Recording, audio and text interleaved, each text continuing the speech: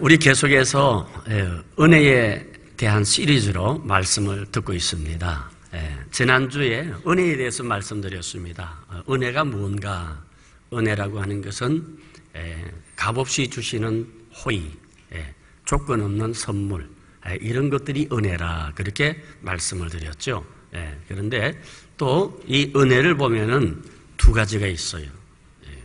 하나는 일반 은혜라는 것이고 다른 하나는 특별 은혜라 그랬죠. 이 일반 은혜라고 하는 것은 네, 모든 사람에게 구별하지 않고 베풀어 주시는 하나님의 선물이죠. 그러나 특별 은혜라고 하는 것은 뭐냐? 네, 일반 은혜 속에 있는 사람들 가운데서 특별히 하나님께서 선택해서 주시는 은혜가 있어요. 네, 그걸 특별 은혜라 그렇게 얘기합니다. 네, 그래서 이 특별 은혜는 네, 예수 그리스도가 주체가 되지요. 네, 예수님으로 말미암아 주시는 은혜. 두 번째, 이 은혜는 차별이 없다는 것이죠. 세 번째, 이 은혜는 선물입니다. 선물입니다. 그래서 오늘 여러분과 함께 이 바울에게 임한 은혜가 어떤 것인가 그래서 바울의 은혜라는 제목으로 음, 함께 말씀을 나누려고 합니다. 성 프란시스의 제자 중에 한 사람이 환상 중에 하나님 나라를 보게 됩니다. 근데 그 하나님 나라의 한 보좌를 보았는데 너무나 아름답고 귀한 보좌가 이렇게 비어 있는 거예요. 그래서 에, 물었습니다. 저 보좌는 누구의 것입니까? 그랬더니 그건 프랜시스가 앉을 의자야라고 이 얘기를 하더랍니다. 그래서 환상에 깨고 난 다음에 이 제자가 프랜시스를 찾아갑니다. 선생님, 선생님은 자신에 대해서 어떤 분이라고 생각을 합니까? 나? 나 이 사람, 이 세상에서 가장 악한 사람 중에 사람이지. 나 악한 사람이야. 에이, 선생님. 그런 말씀 하지 마세요. 사람들은 선생님에 대해서 성자라고 그러지 않습니까? 아니, 그리고 또 솔직히 생각해 보세요. 이 세상에는 살인자도 있고 강도자도 있고 뭐 도둑놈도 있고 예, 그런 나쁜 사람이 많이 있는데 어떻게 선생님이 이 세상에서 가장 악합니까? 예, 그때 프랜시스가 야 이 사람아 자네는 나를 몰라서 그래 그러면 한번 물어보자 만약에 하나님의 그 은혜를 나에게 준 은혜를 그 강도에게 주었으면 강도질 하겠어? 예, 그 은혜를 하나님의 은혜를 그 살인자에게 주었다면 그 살인자가 살인하겠어? 예? 그 은혜를 내게 주셨기 때문에 내가 이만큼 된 것이지. 그래서 하나님 은혜야. 예. 여러분 그렇습니다. 아, 이것이 은혜구나. 그렇게 느끼는 사람에게만 은혜를 알게 되는 것이고 은혜가 되는 것이지. 예. 은혜를 은혜로 알지 못한다면 절대로 은혜가 될 수 없습니다. 자, 오늘 성경에 나타나는 대표적인 인물이 사도 바울이죠.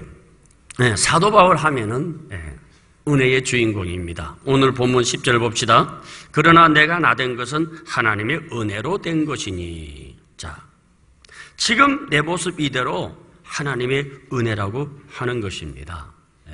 지금 바울은 예수님을 담에색 도상에서 만나고 난 다음에 한 20년의 세월이 지납니다. 그러면서 20년 동안 쭉 지나온 자기의 세월을 바라보면서 하나님의 은혜라고 표현하고 있는 것입니다. 그럼 구절 봅시다. 나는 사도 중에 가장 작은 자라. 나는 하나님의 교회를 박해하였으므로 사도라 칭함을 받기를 감당하지 못할 자니라. 바울은 자신을 사도 중에서 가장 작은 자라고 말씀하고 있지요. 예. 그러면 참 겸손한 표현입니다. 근데 사도 바울이 과연 겸손합니까? 사도 바울은 성격상 겸손한 사람이 아니에요. 아주 강한 사람이에요. 네. 은혜 받고도 그 기질이 남아 있었어요. 자, 전도 여행을 하다가 마가 요한이 잠깐 함께 하다가 일탈을 했어요. 어떻게 했습니까? 그것으로 분쟁이 생겨서 마가 요한 거의 평생 안 봤어요. 마가 요한이 가고 싶어 해도 데리고 가지를 않았어요. 그걸 끝난 거예요. 예. 나중에 이제 늙어서 마지막에 이제 마가 요한을 생각하는 것이 성경에 나옵니다. 예. 그러니까 이, 이 바울이 성격이 그냥 담즙질 성격이죠. 예. 한번 아니라 하면은 끝까지 가는 사람. 음. 예. 그런 기질이 있어요. 예. 그리고 바울은 박해자요 폭행자라고 그렇게 말씀하고 있어요. 예. 그러니까 이 바울이 보통 성격이 강한 사람이 아니에요. 그리고 또 보세요. 바울은 은혜 받기 전에 어떤 사람이에요? 자랑할 것이 많은 사람이에요. 다시 말하면 최고의 스펙을 가진 사람이에요. 보세요. 나면서부터 로마 시민권을 가진 사람이에요. 예. 유대인이면서 로마의 시민권을 가졌다? 귀족이 아니거나 거부가 아니면은 이거 얻을 수 없는 것이죠. 식민지 나라의 국민이 여러분 로마의 시민권을 갖는다? 예. 하늘의 별따기처럼 어려운 거지. 마치 여러분 아프리카의 흑인이 어느 날 갑자기 미국 시민이 된 거하고 거의 같다고 보면 되겠죠. 그 다음에 또 한 가지 두 번째 봅시다. 바리세파입니다. 여러분, 이 바리세파라는 게 어, 어떤 사람이에요? 예. 예수님 생전에 사역하실 때 가장 적대 세력이 바리새인이죠. 바울이 그 사람이에요. 예. 세 번째, 최고 학벌의 소유자였습니다. 예. 여러분, 당시에 가말리엘 문화의 문화생이다. 이 말은 여러분, 당시 이스라엘 사회의 지도층이 다니는 학교였어요. 예. 우리나라도 마찬가지 아니에요. 옛날에 조선시대에도 여러분, 이 성균관 에 들어가는 사람은 벌써 뭡니까? 신분 상승의 이, 이 징검다리가 되는 것 아닙니까? 그렇죠? 예. 그러니까, 예. 우리나라 이 서울대학하고는 비교가 안 되는 거죠. 예. 뭐 하바드 정도 비교가 될 수가 있을 거예요. 다 작은 가마니엘 문화생이라 하면은 거의 정상으로 이렇게 신분이 상승이 되는 그런 그래서 자기는 나는 가마니엘 문화생이다. 가니, 가, 그 가마니엘 문화에서 내가 공부했다는 것을 얘기하는 것은 그만큼 자랑스러운 사건이었어요. 예. 그래서 이 바울은 여러 가지 철학과 사상, 율법 이런 부분에서 능통한 최고의 엘리트였지요. 그 다음에 학자들에 의하면 사내들인 공예원이라고 말을 하기도 합니다. 왜냐하면은 음, 예, 기독교인들을 죽이는 권한을 가졌잖아요. 예, 그러니까 사람을 죽일 수 있는 권한은 아무에게나 주는 게 아니에요. 예, 그런 사내들인 공인, 공예라고 하면은 우리나라 국회와 같은 권한을 가진 예, 그런 존재 아닙니까? 예. 그래서 이 바울은 이 공예에서 기독교 말사를 위한 특별 허가를 받은 예, 그런 사람이었다 이 말이에요. 음. 자 보세요. 어떤 사람이에요? 네, 보통 인물이 아니죠. 그런데 그에게 하나님의 은혜가 임하는 거예요. 네. 사도행전 9장에 보면 바울이 예수님 만나는 장면이 나옵니다. 기독교인들을 체포하기 위해서 담에색으로 가는 중에 주님 만나지요? 사울아, 사울아, 누구십니까? 너가 피파하는 예수야. 너 왜 나를 박해하냐? 깜짝 놀랐어요. 예. 그래서 이 바울이 말에서 뚝 떨어집니다. 예. 너무나 강력한 빛을 보는 순간 시력을 잃어버립니다. 예. 완전히 변했습니다. 새 사람이 되었어요. 세상의 모든 것을 내려놓습니다. 예. 그래서 예. 바울이 그 다음에 어디로 갑니까? 아라비아라고 하는 광야로 들어가지. 예. 어떤 음. 그러니까 광야에 가서 깊은 그러한 영적인 세계를 경험하게 되지요. 그래서 예, 빌립보 3장 8절에 보면은 또한 모든 것을 해로 여김은 내주 그리스도 예수를 아는 지식이 가장 고상하기 때문이라. 내가 그를 위하여 모든 것을 잃어버리고 배설물로 여김은 그리스도를 얻고자 함이라. 예. 여러분, 이 바울이 세상의 것을 배설물로 여겼다.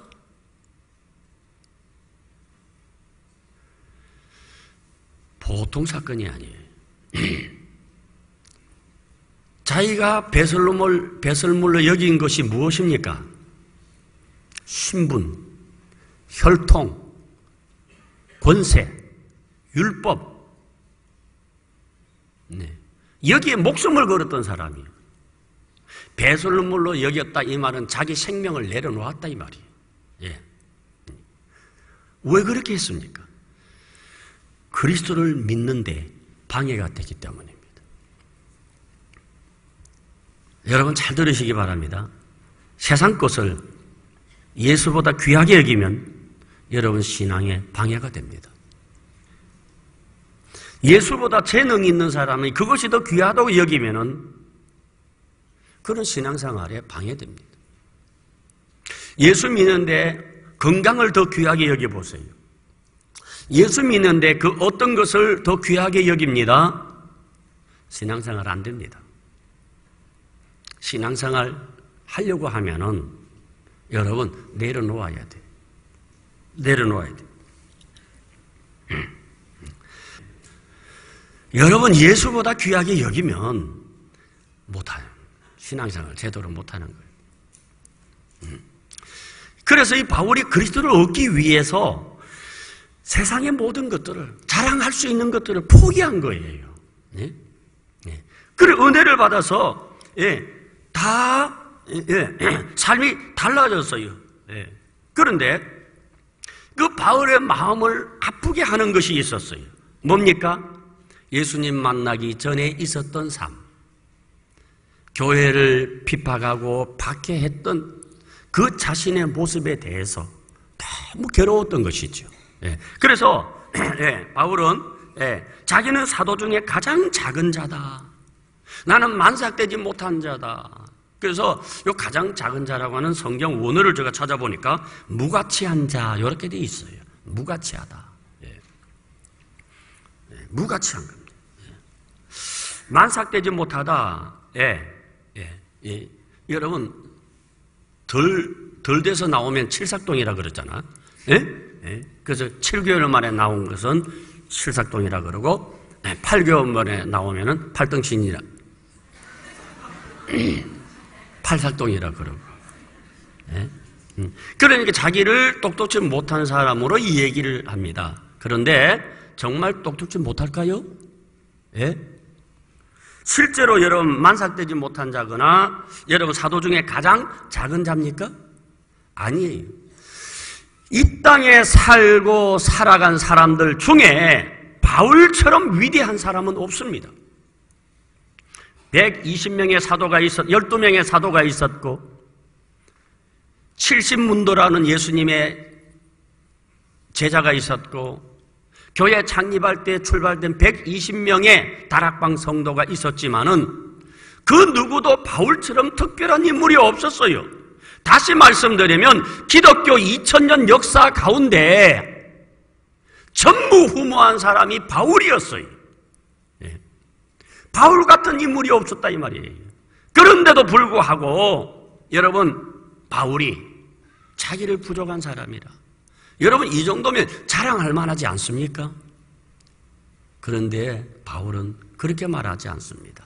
작은 자라고 말하면서 여러분 예? 자기를 낮추는 거예요.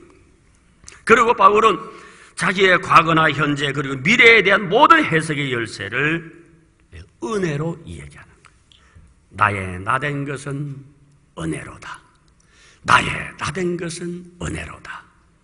나의 나된 것은 은혜로다. 예. 근데 여러분, 우리는 어떻습니까? 우리는 여러분, 은혜로 생각하는 것보다는 모든 것이 논리적 사고에 의해서 판단합니다. 여러분 우리나라에 1년 동안 여러분 자동차 사고 예, 사고 예, 사고가 얼마나 일어나는가 예, 보니까요 23만 건이 일어났습니다. 네 그리고 204만 명이 병원 치료를 받았어요. 예, 자동차 사고로 병원에 치료받은 사람들이 물론 부상, 경상, 중상 다 포함해가지고 200만 명이 넘어요 1년에 4,600명이 죽었어요. 예. 그러나 여러분 이렇게 많은 사고가 나지만은 여러분 그러한 것에 대해서 우리는 어떻게 생각하지요? 나는 운전을 잘하니까 나는 경험이 있으니까 내가 과속하지도 않고 음주운전하지도 않고 나는 정확하게 질서를 지키기 때문에 나는 사고가 없어라고 생각하는데 얼마 전에 우리 교회 권사님 한 분이 교통사고 났어요. 음주운전 아니에요. 과속 아니에요. 무사교, 무사고 20년이에요. 와서 받는 걸 어떡하라고. 작년에 여러분 사망자 수가 여러분 보니까 여러분 28만 명입니다. 병원에서 수술한 사람만 170만 명입니다. 그런데 건강에 대해서 이렇게 말합니다. 내가 이렇게 건강하고 병원 안 간 것은 내가 식이요법을 잘했거든. 내가 규칙적인 생활을 했거든. 내가 과식하지 않거든. 나는 정기적으로 등산하거든. 물질관도 그렇게 생각을 합니다. 네. 내가 이만큼 사는 거 참 정말이지 열심히 살았어. 네. 내가 참 지혜가 많아. 네. 내가 노력했거든. 여러분 전적으로 잘못되었다고 해서 말하기는 그렇지만은 그런 사람에게는 하나님의 은혜가 들어갈 공간이 없어요. 은혜가 머물 수가 없어요. 은혜라고 하는 것은 하나님께서 공로 없이 우리에게 주시는 축복인데 그 공로보다도 여러분 자기의 어떤 여러분 대가를 생각한다면은 여러분 그것은 여러분 논리적인 사고입니다. 예. 그러니까 여기에는 은혜가 있을 수가 없는 거예요. 예. 모든 것이 하나님의 은혜입니다. 예? 나의 나 된 것은 하나님의 은혜로 된 것이지 내 노력, 내 능력 그것이 아니라는 사실을 알아야 되는 것입니다. 그런데 우리가 여기서 한 가지 생각할 것이 있습니다. 우리에게 나타난 좋은 것만 은혜라고 생각해서는 아니 된다는 것이죠. 예? 예. 우리가 살다가 보면은 여러분 내가 원치 않는 일들이 있잖아요. 네. 기막힌 일들이 느닷없이 내게 다가옵니다. 그런데 우리 신앙이 한 단계 성숙이 되면 이것조차도 은혜 속에서 이해할 줄 알아야 됩니다. 이것도 은혜로 볼 줄 알아야 됩니다.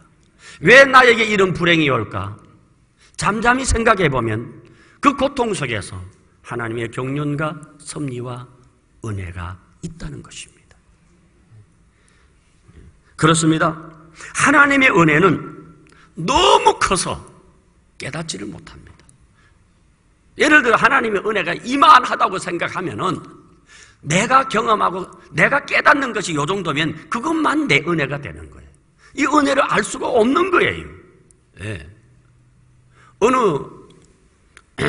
젊은 수도사가 이제 수도원에 들어갔어요. 네. 이제 자기는 일생을 수도사로서 하나님 앞에 헌신하겠다고 하는데 그러려면은 이 사람아 하나님의 은혜를 알아야 돼. 하나님의 은혜를 받아야지. 그게 원장이 원장이 이 수도사에게 계속 강조한 게 은혜, 은혜, 은혜. 그래서 이 젊은 수도사가 원장님, 원장님은 계속 은혜, 은혜 하는데 도대체 그 은혜가 뭡니까? 예, 그래, 내가 예, 자녀에게 시간이 되면은 가르쳐 줌세 하고서 얼마 갔다가 이제 예, 제자들과 함께 이제 예, 수영장에 예, 저 뭡니까 바닷가에 갔어요. 바닷가에 수영을 하면서 예, 그 수도사에게 원장님이 말했어요. 자네 지금 물이 어디 있나? 그랬더니 아니 물이 어디 있긴요. 다 그냥 다 전부 다 물이지요. 이게 물이지 않습니까? 그렇게 얘기를 했어요. 그랬더니 바로 그거야. 하나님의 은혜가 바로 이 물과 같은 거야. 네. 우리를 둘러싼 전부가 은혜라니까. 은혜 아닌 것이 어디 있나? 이것도 은혜요, 저것도 은혜요. 네? 내가 숨 쉬는 것도 은혜요. 손가락 움직이는 것도 은혜요. 살아있는 것조차도 다 은혜인 줄 믿으시기를 바라. 지금 여기 나와서 여러분 건강한 모습으로 하나님 앞에 예배 드리는 이것도 은혜인 것입니다. 예. 우리는 한순간도 은혜 없이는 존재할 수 없는 것입니다. 그러므로 은혜라고 하는 것은 우리의 어떤 공로로 얻을 수 있는 것이 아니에요. 만일 우리의 선함이나 자랑할 만한 것을 따라서 예, 하나님이 주신 것이라면은 그것은 은혜가 될 수 없는 것입니다. 은혜는 우리의 잘잘못을 따지지 않고 주시는 하나님의 선물인 것입니다. 믿습니까? 다음 10절 보세요. 그러나 내가 나된 것은 하나님의 은혜로 된 것이니 내게 주신 그의 은혜가 헛되지 아니하여 내가 모든 사도보다 더 많이 수고하였으나 내가 한 것이 아니요 오직 나와 함께 하신 하나님의 은혜로다. 자, 여기 보세요. 나의 나된 것이 무엇이라고요? 은혜라고 하는 거예요. 그런데 여기 내가 모든 사도보다 더 많이 수고한 것이 무엇이라고요? 그것도 은혜라는 것입니다. 여러분 교회 보세요. 하나님 교회에서 일하는 일꾼들을 보세요. 예? 찬양하고 또 어떤 뭐 헌금 봉사하고 차량 봉사하고 교회 교사로 예? 그 다음에 예수 사랑 큰 잔치에 또 예?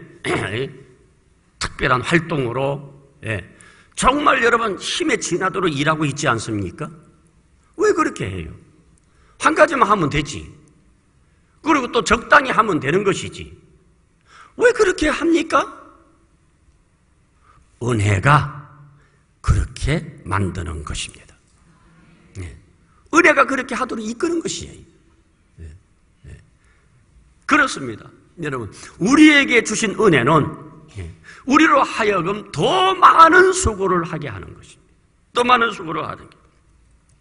여러분, 그래서 이 은혜라고 하는 것은 얼마든지 절망을 소망으로 끌어낼 수가 있고 실패를 성공으로 이끌어갈 수가 있습니다. 은혜를 받으면은 먹구름 속에서도 태양을 바라볼 수 있는 거예요. 그러므로 여러분 우리에게 주신 은혜는 너무나 너무나 귀한 거예요. 여러분 잘 아시는 바람과 함께 사라지다 하는 영화 봤지요? 예? 예. 그런데 그 바람과 함께 사라지다 하는 그 영화를 보면은 그 남북 전쟁 당시에 있었던 한 여인의 기구한 삶에 대한 이야기입니다. 예, 그 주인공이 스칼렛이라는 주인공이 있지요. 예, 이 여, 발랄한 여주인공이 예, 말할 수 없는 고난을 받아요. 육체적으로, 정신적으로, 물질적으로, 가정적으로 모든 것을 다 잃어버립니다. 정말 바람과 함께 모든 것이 사라졌습니다. 그런데 여러분 이 영화의 마지막 대목이 대단히 중요합니다. 이 스칼렛이라고 하는 여주인공이 무슨 말을 했습니까? 내일은 또 내일의 태양이 있겠지. 예. 내일은 또 내일의 태양이 떠오르겠지. 무슨 뜻입니까? 다 잃어버렸습니다. 예. 그러나 여기에 멈추는 것이 아니에요. 내일은, 여러분, 내일의 태양이 있다고 하는 것이에요. 믿습니까? 예. 내일은 내일의 태양이 있다는 것이죠. 하나님의 은혜는 오늘로 끝나는 것이 아니에요. 내일에는 또 내일의 은혜가 있는 줄 믿으시기를 바랍니다. 오늘 아픕니까? 고통스럽습니까? 그러나 바울에게 역사하신 것처럼 그 하나님의 위대한 경륜이 하나님의 은혜가 우리에게 나타날 줄로 믿습니다. 예. 그래서 이 바울이 받은 이 은혜는 오늘 우리에게도 동일하게 적용되고 있다고 하는 사실입니다. 예. 저는 참 많은 찬양 가운데서도요, 예, 그 뭡니까? 하나님의 은혜 하는 찬양이 있지요. 예? 나의 나를 지으신 이가 하나님, 나를 부르신 이가 하나님, 나를 보내신 이도 하나님. 예? 나의 나 된 것은 하나님의 은혜라는 그 찬양이 그 참 가사가 너무너무 은혜스러워요. 여러분 모든 것이 하나님의 은혜예요. 예, 우리가 조용히 우리 자신을 감정을 이렇게 내려놓고 우리가 이렇게 시야를 바라보면은 지금까지 살아온 구구구절절 사건 사건 속에 하나님의 은혜가 개입되어 있지 않은 곳이 없어요. 예.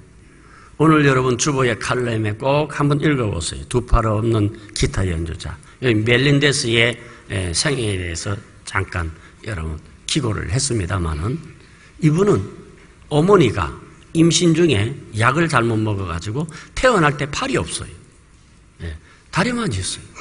그런데 이분이 발가락으로 기타를 배우기 시작한 거예요.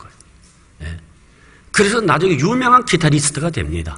예, 그래서 교황 앞에서도 또 대통령 앞에서도 연주하는 아주 유명한 기타리스트가 된 거예요. 예. 예. 여러분, 우리가 이 세상에 살아가면서 나는 뭐가 없어, 나는 뭐가 없어. 예. 그렇게 생각하지 말고 있는 것을 생각하면서 감사하시기를 바랍니다. 아멘이십니까? 예. 물론, 짐승은 없으면 안 돼요. 예. 짐승은 눈이 없으면 죽어요. 짐승은 여러분 다리가 없으면 잡혀 죽어요. 그러나 하나님의 사람은 눈 없어도 살아요. 하나님의 사람은 눈 없어도 헬렌 켈라처럼 돼요. 예. 여러분, 하나님의 사람은 다리가 없어도, 예? 닉 부이치치처럼 행복하게 살 수 있는 거예요. 그거 없으라는 말은 아니고 또 오해하지 말고 들으시기 바랍니다.